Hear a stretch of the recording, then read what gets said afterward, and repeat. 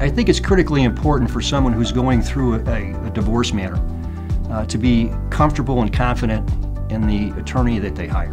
They're frightened sometimes, they're nervous, they're concerned about what's going to happen to them going through this process. And we like to know that we are competent to tell them they're going to be okay.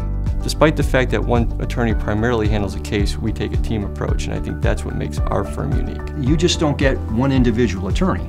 There are three, and we all work together in various aspects of cases, whether it's actively participating in a courtroom, working behind the scenes as far as business valuations are concerned.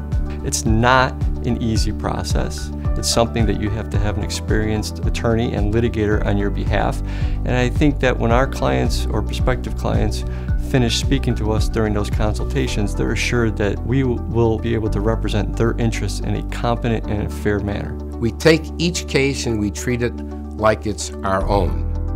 And it's nice to know that when they leave our firm, they're not only going to be satisfied, but they're going to be.